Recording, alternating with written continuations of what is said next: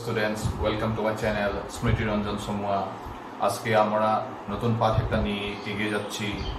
Class six, বিজ্ঞান, পাঠ এক, খাদ্য কোথা থেকে আছে? খুবই সহজ পাঠ। পাঠটি আরম্ভ করার আগে তোমাদেরকে বলে দিই, যদি এখন পর্যন্ত যদি আমাদের চ্যানেলটা সাবস্ক্রাইব করে নিই সাবস্ক্রাইব করে নেবে এবং বেল আইকনটা প্রেস করে দেবে, যাতে ভিডিও বা আপলোড করার সাথে তোমাদের পেয়ে যাও। আজকে আরম্ভ করেছি খাদ্য কোথা থেকে আছে? খুবই সহজ পাঠ। বেশি চিন্তা করার কোনো কারণ নেই। একেবারে সহজ পাঠ। খালি তোমাদের এই পাঠটা পড়াই থাকার সময়ে তোমাদের নিজের বাড়িতে জি জিগুলো আমি উদাহরণ দিব। সেই উদাহরণের সাথে পাঠটির মিল করতে চেষ্টা করবা। যখন মিলবা, মিলাতে পারবা, তখনই তোমাদের পাঠটা বুঝতে অনেক সুবিধা হবে। আচ্ছা পাঠটা আরম্ভ করি এখন। তোমাদের বের করে নাও। Page number one, class six, chapter one, খাদ্য কোথা থেকে আছে। ঠিক আছে? ওকে সো প্রথম খাদ্য। খাদ্য। সকাল থেকে সন্ধ্যা পর্যন্ত আমি খাদ্য গ্রহণ করি। যে নির্দিষ্ট নির্দিষ্ট সময় আমি খাদ্য গ্রহণ করি সেই খাদ্যগুলো কীভাবে আমি গ্রহণ করি, কি কি ধরনের উপকরণ আমি গ্রহণ করি, এবং সেই খাদ্যগুলো কোথ থেকে আসছে মানে উৎস কি কি? এই সবগুলো কথা এই পাথর ভেতরে আমরা আলোচনা করব। ঠিক আছে? তো তোমাদের একটা সাধারণ উদাহরণ হিসাবে যদি আমি ধরি নিই আজকে সকালে তোমাদের যে ব্রেকফাস্ট বা সকালে যে রান্না, খাওয়াটা খেয়েছো, সে থালটার মধ্যে কি কি ছিল? একবার মনে করো কি কি ছিল? হয় ভাত থাকতে পারে, ডাল থাকতে পারে, রুটি থাকতে পারে কর্নফ্লেক্স থাকতে পারে পারে কি না? বিভিন্ন ধরনের খাদ্য তোমাদের থালটাতে থাকে। এই সবগুলো খাদ্য কিছু কিছু উপকরণ দিয়ে তৈরি করা হচ্ছে। আমরা এখন আলোচনা করব প্রথম যে খাদ্যর বিভিন্নতা কি কি। খাদ্যের বিভিন্নতা ভ্যারাইটি বিভিন্নতা বোঝার আগে তোমাদের ছোট ক্লাসে মনে হয় পড়েছ যে আমি যেগুলো খাদ্য খাই, আমি স্কুলে যেগুলো টিফিন হিসাবে গ্রহণ করি সেগুলো খাদ্যই এবং বাড়িতে যেগুলো খাদ্য খাই সেই খাদ্যগুলোর মধ্যে বিভিন্নতা আছে। কি বিভিন্নতা আছে? যে সেই খাদ্যগুলোর ভেতরে আছে কার্বোহাইড্রেট প্রোটিন স্নেহ তেল স্নেহ মানে তেল ভিটামিন এই সবগুলো লবণ এই সবগুলো জিনিস থাকে। সেই জন্য এই সবগুলো থাকে আমার খাদ্য তালিকাটা তৈরি হয় বা খাদ্যর থালটা আমার পরিপূর্ণ হয়। এখন কার্বোহাইড্রেট প্রোটিন স্নেহ এগুলো ভিটামিন এগুলোর কথা পরে ক্লাসে আর বিস্তৃতভাবে জানবে। এখন সিম্পলি বুঝে নাও যে খাদ্য বিভিন্ন রকমের থাকে আর সেই খাদ্য তৈরি করতে আমাদের বিভিন্ন ধরনের উপকরণ প্রয়োজন হয়। শব্দটা কি? ইনগ্রিডিয়েন্টস কি প্রয়োজন হয়? উপকরণ মনে করো উপকরণ কি কি ইনগ্রিডিয়েন্টস লাগে? কি কি ইনগ্রিডিয়েন্টস লাগে? তোমাদের একটা যদি সিম্পল একটা উদাহরণ একটা তালিকা তোমাকে দেওয়া আছে, তালিকা ওয়ান পয়েন্ট টু তালিকা ওয়ান পয়েন্ট টুতে দেওয়া আছে খাদ্য উপকরণ, প্রথম দিচ্ছে ভাত। তখন তোমাদের মা বা বাবা ভাত বসায়, তখন সে ভাতটা তৈরি হতে কি কি লাগে? সিম্পল চাউল লাগে এবং জল লাগে। তারপর আমি গ্যাসে বসাই, তারপর আমি ভাতটা হয়ে যায়। এই যে ভাত বানাতে আমার কি কি উপকরণ দরকার হলো? চাল এবং জল। চাল এবং জল মানে হচ্ছে তার ভাত বানানোর উপকরণ। এখন যদি একটা সিম্পল একটা উদাহরণ নিই, খিচুড়ি, সবারই প্রিয়, খিচুড়ি। খিচুড়িতে কি কি প্রয়োজন, কি কি ইনগ্রিডিয়েন্ট মা বাবা দিয়ে অপ মন করেছ তোমাদের? কি কি দিয়ে মনে করো? চাল তো লাগবে ডাল লাগবো, বিভিন্ন ধরনের ভেজিটেবলস হলুদ, লবণ, তেল, এসবগুলো থাকে। সেই সবগুলো হচ্ছে তার খাদ্যর উপকরণ। মানে খিচুড়ি উপকরণটা কি? এই সবগুলো বুঝতে পেরেছ? ওকে নেক্সট এখন পর্যন্ত আমি শিখলাম খাদ্য এবং খাদ্যর উপকরণগুলো বা বিভিন্ন ধরনের খাদ্য এবং খাদ্যর উপকরণ কি কি লাগে মানে ইনগ্রিডিয়েন্টস কি কি লাগে। হয় খিচুড়ি বানাতে হোক না ডাল বানাতে হোক, বা ভাত বানাতে হোক, কি কি উপকরণ লাগে এগুলো কথা আমি মনে করতে লাগবে। উপকরণ। নেক্সট পেজ নাম্বার টুতে যাও। তখন আমি আলোচনা করব যে যেগুলো খাদ্য আমি গ্রহণ করেছি, সেই খাদ্যগুলো কোথা থেকে আসছে মানে খাদ্যর উৎস। আমি কি জানতে লাগবো? খাদ্যর উৎস। উৎস। উৎস মানে হচ্ছে সোর্স মানে খাদ্য আমি, সেগুলো খাদ্য আমি যেগুলো খাই, সেই খাদ্যগুলো আমি কোথা থেকে পাচ্ছি? বুঝতে পারছ? একদম সিম্পল তোমাদের যে উদাহরণ হিসাবে এখানে একটা তালিকা, একটা প্রস্তুত করেছে, তালিকা ওয়ান পয়েন্ট থ্রি দেখো। তালিকা ওয়ান পয়েন্ট থ্রি দেখো। কি আছে? ভাপে দেওয়া পিঠা। যদি ভাপে দেওয়া পিঠা খাদ্যবস্তুটা আমি পাই, আমাকে কি কি উপকরণ লাগবে? উদাহরণ দেওয়া আছে, চাল লাগবে, চিনি লাগবে, লবণ লাগবে এবং জল লাগবে। ঠিক আছে?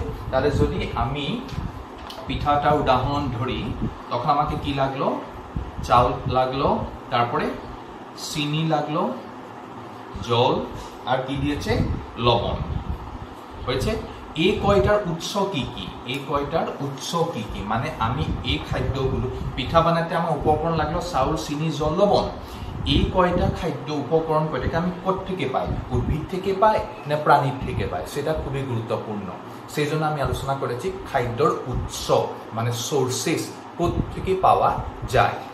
চাউল মানে জানো, গাছ থেকে উদ্ভিদ তালিকাটা পূর্ণ করবা তালিকা ওয়ান পয়েন্ট থ্রি চিনি থেকে পায়? আখ থেকে পায়। মানে গাছ। জল কোথা থেকে পায়? ভূগর্ভ থেকে মানে জল তো মাটির নিচে পাওয়া যায়, ভূগর্ভে জল।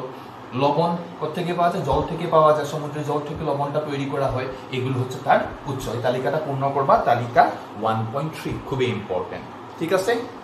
ওকে বেশি স্পিড যদি করেছি কমেন্টে জানাবে। যদি বেশি স্পিড না, যদি ঠিকই, মোটামুটি ঠিকই আছে, তখন কমেন্টেও জানাবে। ঠিক আছে? ওকে নেক্সট আমরা যাব পেজ নাম্বার থ্রি যে পেজ নাম্বার থ্রিটা গুরুত্বপূর্ণ অংশ আছে, তার ওইখানে একটা চিত্র, সুন্দর একটা চিত্র দেওয়া আছে। তুমি দেখো, একটি একটি গাছে একটি চিত্র দেওয়া আছে। একটি ফুল আছে।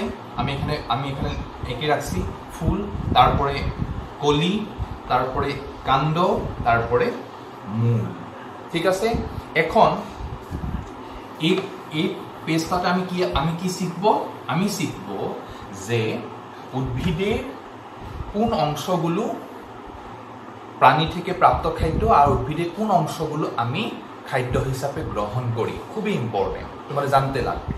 যে যদি বাবার সাথে বা মার সাথে যদি বাজারে গিয়েছো, সবজি বাজারে যদি গিয়েছো তখন তোমাদের নিশ্চয় চোখে পড়েছে। তো এখন ব্যাপারটা হলো, আমি আলোচনা করব যে উদ্ভিদের এবং প্রাণীর কোন কোন অংশগুলো আমি খাদ্য হিসাবে গ্রহণ করি। ঠিক আছে? ওকে সো এখন তোমাদের চিত্রটা আছে, চিত্রটা মন করেছ। একটা গাছ দেওয়া হচ্ছে সিম্পল একটা গাছ দেওয়া হচ্ছে। সেই গাছটাতে কি কি অঙ্কন করেছি? ফুল আছে, কলি আছে, কাণ্ড আছে, মূল আছে, পাতা আছে। ঠিক আছে? এখন ব্যাপারটা হলো যে এই চিত্রটা কেন অঙ্কন করেছি? তোমাদের মন করো যেই বাবার সাথে, মার সাথে বাজারে যায়, শাকসবজি ব্যাপারীর সামনে দেখেছ, কেমনে রাখা হয়? বিভিন্ন ধরনের লতি গাছ, বিভিন্ন ধরনের পাতা, বিভিন্ন ধরনের মূল, বিভিন্ন ধরনের কাণ্ড, সবগুলো আমি খাদ্য হিসাবে গ্রহণ করি কিন্তু এই কথা আমি খেয়াল রাখাটা খুবই জরুরি বিষাক্ত পাতাও আছে, বিষাক্ত কাণ্ডও আছে। সেই জন্য আমি খাওয়ার আগে ভালোভাবে নির্ধারণ করতে লাগবো কোনটা খাওয়ার জিনিস কোনটা খাওয়ার জিনিস নয় এখন, তোমাদের বই মধ্যে পেজ নাম্বার থ্রিতে একটি উদাহরণ দেওয়া আছে। মিষ্টি কুমড় রেখেছ মিষ্টি কুমড়ের যেগুলো কাণ্ডগুলো আমি গ্রহণ করি এই সময় আমি, এই কাণ্ডগুলো আমি খাদ্য হিসাবে গ্রহণ করি এই সিজনে পাওয়া যায়। এবং মিষ্টি কুমড়ের ফুলটা দেখেছ, খুব সুন্দর একটা ফুল। তোমাদের সেই ফুলটা, খুব সুন্দর একটা ফুল থাকে। সেই ফুলটা মা কোনো কোনো সময় চাউলে গুঁড়ো দিয়া পকড়ি বানাই তোমাদেরকে খাওয়ায়। তাহলে আমাদের সেই গাছটির, আমি যদি মিষ্টি কুমড়ো উদাহরণটা নিই, তা সেই গাছটির আমি কাণ্ডও খাই, আমি ফুলও খাই, আমি মিষ্টি কুমড়োর ফলটাও খেলাম আর এই গাছটির এই তিনটা অংশ আমি গ্রহণ করলাম। এমন অনেকগুলো গাছ আছে যা আমি শিকড়ও আমি খাদ্য হিসাবে গ্রহণ করি। আমি এনে এমনগুলো গাছ আছে যেগুলো আমি কাণ্ড খাদ্য হিসাবে গ্রহণ করি। হয় কি না? বিভিন্ন বিভিন্ন পাতা আমি খাদ্য হিসাবে গ্রহণ এটা কারি পাত্তার আমি আমি খাদ্য হিসাবে গ্রহণ করি। হয় কি না? তবে বিভিন্ন ধরনের ফুল আমি গ্রহণ গ্রহণ করি খাদ্য হিসাবে। তাহলে উদ্ভিদের আমি বিভিন্ন অংশ আমি খাদ্য হিসাবে গ্রহণ করি। এটা মনে রাখা খুবই জরুরি। তোমাদের জানতে লাগবে তোমাদের বাড়িতে এখন তোমাদের বাড়িতে যেগুলো সবজি আছে, সেই সবজিগুলো, অংশগুলো থেকে পাওয়া যায় সেগুলো অল্প মন করবা। আজকে যাবে রান্না করে, মার মার সাথে দেখবা যে কোনটা অংশ আমি খেয়ে, আলু আমি, এটা মূল থেকে আমি পেয়েছি, বিভিন্ন কাণ্ডর সবজি থাকতে পারে, মা কি রাঁধছে, দেখবা। যা উদ্ভিদের কোন কোন অংশগুলো আমি গ্রহণ করেছি। ঠিক আছে? এখন আমি যাব page number four page number ফোরে একটা গুরুত্বপূর্ণ বস্তু আছে, ওইখানে আছে একটা ইম্পর্টেন্ট বস্তু, অঙ্কুর উদ্গম। অঙ্কুর উদ্গম। কি আছে? অঙ্কুর উদ্গম। অঙ্কুর উদ্গম।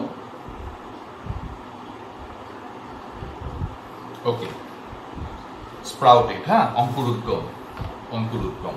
তার নামটাতে তার কাহাকে বলে লুকে গেছে যে অঙ্কুর বের হবে, অঙ্কুর। এখন তোমাদের যদি আমি একটা উদাহরণ ধরি যে তোমাদের চানাওয়ালার থেকে ছানা খাও তা ছানাওয়ালার একটা কোনো একটা পাত্র তুমি দেখেছ? বুট আছে, মুগ আছে, যার কি হয়েছে?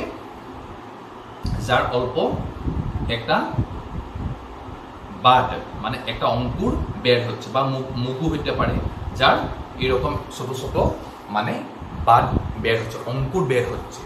সেই অঙ্কুরগুলো বের হওয়াটা মানে কি বুঝাইছে? সেটা প্রক্রিয়াটার নাম হচ্ছে অঙ্কুর উদ্গম। অঙ্কুর যখন উৎপত্তি হবে, তাকে বলা হবে অঙ্কুর উদ্গম। তা কেমনে একটা প্রসেস দিয়েছে তোমাদের বাড়িতে করে দেখতে পারো, খুবই সুন্দর প্রসেস কি করতে লাগবো? তুমি মুখ যেটা মানে ফালাটা না, যেটা গোটা গোটা মুখটা কি করবা? তুমি ভিজিয়ে রাখবা। ভিজিয়ে রাখার সাথে সাথে তুমি কি করবা? সেগুলো তুমি পাঁচ ছয় ঘণ্টা ভিজিয়ে রাখার পরে তুমি জলের থেকে উঠাবে। উঠার সাথে সাথে একটা কটন কাপড়, একটা সুতি কাপড় দিয়া এরকম একটা মানে রোল করবা এটা একটা প্যাকেট করবা প্যাকেট করে, পাতলার সুতি কাপড় দেওয়ার দেওয়ার সাথে তার মধ্যে বাতাস আসা করতে পারবা, তুমি রেখে দিবে মুক্তভাবে। তারপরে তুমি তার নেক্সট দিন তুমি দেখবা তার মধ্যে কি বের হচ্ছে, সেই যেগুলো মুখ বা বুট থেকে ছোট ছোট অঙ্কুর, কিছু কিছু একটা অঙ্কুর বের হচ্ছে, সেই বাদগুলো বের হচ্ছে। সেই প্রক্রিয়াটার নাম হচ্ছে অঙ্কুর উদ্গম। আমি সেগুলো খাদ্য হিসাবে গ্রহণ করি, হয় কি না? আর তার থেকে পরে, সেই অঙ্কুর থেকে পরে গাছ হবে, সেই সেই বীজটি থেকে পরে গাছ গাছ হবে। কোনো কোনো বিশেষ বিশিষ্ট বিউটি কোনো কোনো মানুষে বলে মানে বিশেষ করে তোমাদের মা বাবা বলে যে সেগুলো মানে বাদ বের হওয়া, অঙ্কুর বের হওয়া, বুট, মা মুখ খালে যথেষ্ট শক্তি পাওয়া যায়, একদম সত্যি কথা। তোমাদের ফলো করার চেষ্টা করবা। নেক্সট আমার তোমাদের দেখো পেজ নাম্বার ফোরে আছে কি আছে মৌচাক মধু তা মধু তোমাদের নিশ্চয় খাও ভালো পাও মানে মিষ্টি হয় যথেষ্ট মধু মধু মৌচাক তা মৌচাক তোমাদের কীভাবে হয় তোমাদের টিভিতে হোক বা মোবাইলে হোক তোমাদের লক্ষ্য করতে পেরেছ হয় কি না আচ্ছা সো এখানে আমি মৌসাকের কথাটা আমি কেমনে আমি কেমনে কেন আলোচনা করেছি? আমি আলোচনা করেছি যে উদ্ভিদের কোন কোন অংশ বা প্রাণীর কোন কোন অংশগুলো আমি খাদ্য হিসাবে গ্রহণ করি। তা এইখানে মধু মধুমাছি কি করে? তোমাদের ফুলের রসটা শোষণ করে নি ওরা ঘুরে ঘুরে পরিভ্রমণ করে করে ফুলের রসগুলো কি করে? শোষণ করে। শোষণ করার সাথে সাথে সেই ফুলের রসগুলো ও মধু মশাকে গিয়া তার থেকে মধু তৈরি করে। একটা নির্দিষ্ট সময় তৈরি করে, পুরো বছরটার জন্য তৈরি করার জন্য একটা নির্দিষ্ট সময় মধু মধুমাছি কি করে? সেই মৌ তৈরি করতে কাজ করে। বুঝতে পারেছ?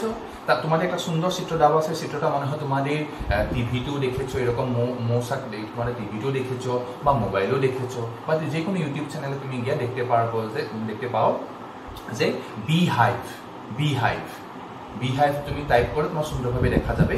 সেখানে মানে কেমনে মধু তৈরি হচ্ছে তোমাদের সুন্দরভাবে দেখাই দেবে। তোমাদের ওটা এটা তুমি ইউটিউব চ্যানেলে গিয়ে দেখতে পারো। সো সে মধুটা থেকে পেলাম আমি? মধুটা আমি পেলাম থেকে মধুটা পেলাম আমি সেই ফুলের রস থেকে। বুঝতে পারছ? মধুটা পেলাম সেই ফুলের রস থেকে। তা এখন তোমাদের মনে হয় বুঝতে পারছ কথাটি যে মধু কীভাবে তৈরি হয়? যে মধু মৌমাছি তৈরি করে, কিন্তু কার থেকে? ফুলে রস থেকে তৈরি করে।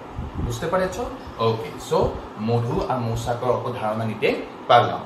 নেক্সট যাও page number six page number six না page number four last second কলমটা দেখে নিচে দেখবা যে প্রাণীরা কি খায়? হোয়াট এনিমেলস ইট প্রাণীরা কি খায়? এখন পর্যন্ত আমি আলোচনা করলাম যে আমরা কি কি খাই। তো এখন আমি আমি আলোচনা করব যে প্রাণীরা কি খায় বা প্রাণীরা কীভাবে জীবিত থাকে। হয়? তো এখন তোমাদের ছোটবেলাতে পড়েছ যে কোনো কোনো প্রাণী শুধু মানে শাকাহারী, শুধু গাছ, গাছপাতা এগুলো খাই জীবিত থাকে। আর কোনো কোনো প্রাণী শুধু মাংসর উপরে নির্ভর করে, আর কোনো কোনো প্রাণী সবগুলো খায়। এগুলো আগে ছোট ক্লাসে তোমাদের নিশ্চয় পড়েছ। আবার মনে করে দিতেছি যে খাদ্য খাওয়ার উপর নির্ভর করে প্রাণীরাকে তিন ভাগে বিভক্ত করা হচ্ছে। প্রথম, নিরামিষাশী। নিরামিষাশী। নিরামিষাশী, তারপরে আছে মাংসভোজী বা মাংসাশী। মাংসাশী হয়েছে তারপরে আছে সর্বভূক সর্বভূক হয়েছে একদম সিম্পল তোমাদের ছোটবেলাতেও পড়েছ, আবার আবার তোমাদেরকে মনে করে দিতেছি যে নিরামিষ নিরামিষ। শব্দটা নিশ্চয় তোমাদের সিনা সিনা আছে, জানা আছে, নিরামিষ, যে আমি নিরামিষ বুঝি। এরকম তোমাদের নিশ্চয় আলোচনা কথার কথার মধ্যে এগুলো আলোচনা নিশ্চয় হয়।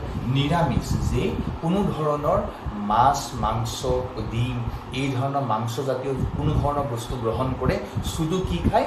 ভেজিটেবলস শুধু কি খায়? উদ্ভিদ বা উদ্ভিদের অংশগুলো গ্রহণ করে। সেইগুলো প্রাণীকে বলা হয় নিরামিষাশী প্রাণী বা তৃণভোজী প্রাণী উদাহরণ গরু আছে ছাগল আছে মহিষ আছে হরিণ আছে। এগুলো প্রাণী শুধু কি খায়? শুধু গাছের উপর নির্ভর করে কোনো ধরনের মাংসের সাথে কোনো সম- সম্পর্ক নেই। শুধু কার উপরে নির্ভর করে খাদ্যের জন্য উদ্ভিদের উপরে নির্ভর করে ঠিক আছে?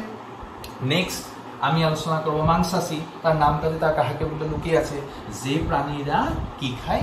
মাংস খায়। শুধু মাংস খায় বা মাংসর উপরে নির্ভর করে। সেগুলো প্রাণীকে কি বলব? মাংসাশী। হয়েছে? বা ইংরাজিতে বলা হয় কার্নিভোরাস। সে উদাহরণ তোমাদের নিশ্চয় জানো। বাঘ সিংহ হ্যাঁ, আর কি হতে পারে? শিয়াল শিয়াল শিয়াল শিয়াল শিয়াল থাকবে বিড়াল থাকবে। এগুলো হচ্ছে মাংসাশী প্রাণী। তোমাদের উদাহরণ নিশ্চয় জানো। তাহলে মাংসাশী প্রাণী, যেগুলো যেগুলো প্রাণী খাদ্যর জন্য শুধু মাংসর উপরে নির্ভর করে সেগুলো প্রাণীকে কি বলব? মাংসাশী মানে মাংসভোজী মানে মাংসর উপর নির্ভর করে চলে। নেক্সট মোস্ট ইম্পর্টেন্ট হচ্ছে সর্বভূক সর্ব সর্ব মানে তার নামটাতে কাহাকে লুকিয়েছে সর্ব সর্ব মানে সব। ভুক মানে ভুক খাওয়া। সব খায় মানে যেগুলো প্রাণী উদ্ভিদ, মাংস দুটোই গ্রহণ করে এবং সব খায়, সেগুলো প্রাণীকে সর্বভূক প্রাণী বলে, আর সর্বভূকে কে পড়ি? আমরা। আমরা উদ্ভিদের উপরে নির্ভর করি এবং মাংস খাই। সেই জন্য আমাদেরকে কি বলা হয়?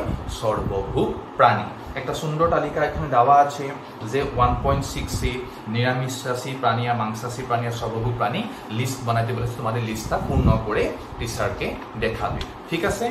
সো নেক্সট প্রহেলিকাও জানতে চাইছো প্রজ্ঞানও জানতে চাই চাচ্ছে যে যে সবাই ভারতবর্ষে আমার দেশে ভারতবর্ষে সবাই কি খাদ্য উপলব্ধ হচ্ছে সবার জন্য খাদ্য উপলব্ধ হচ্ছে এখানে একটা প্রশ্ন গুরুত্বপূর্ণ যে সবাই খাদ্য এখন পর্যন্ত পাচ্ছে না।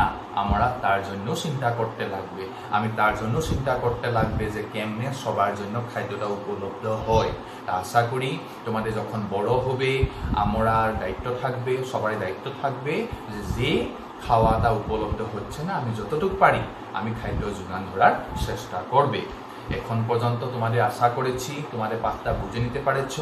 আমরা শিখলাম খাদ্য, খাদ্যর বিভিন্নতা, তারপরে আমি শিখলাম আর তারপরে শিখলাম, আমি কি শিখলাম? বিভিন্নতা শিখলাম। তারপরে আমরা শিখলাম খাদ্য কোথা থেকে উৎপন্ন হয়, খাদ্যর উপকরণগুলো শিখলাম, খাদ্যর কোন কোন উদ্ভিদের কোন কোন অংশ আমি খাদ্য হিসাবে গ্রহণ করি ইত্যাদি কথা আমি আমরা শিখলাম। তা আশা করি তোমাদের কথাটা বুঝতে পারেছ। তোমাদের বাড়িতেই পাঠটি পড়ার আগে, লেখার আগে পাঠটি রিডিং দিয়ে নেবে। দুইবার রিডিং দিবে, তখন তোমাদের বোঝাটা আর তীক্ষ্ণ হয়ে যাবে। যখন রিডিং দিবে, তখন তোমার বোঝাটা আর ভালো হবে। আর আমার ক্লাসটা তোমার যদি তোমার যদি উপকৃত করেছে, তোমাদের কমেন্টে নিশ্চয়ই জানাবে। আশা করি আজকে এখানে শেষ করেছি। আশা করি তোমাদের বুঝতে পারেছ। তোমাদের ভালো থাকো। Thank you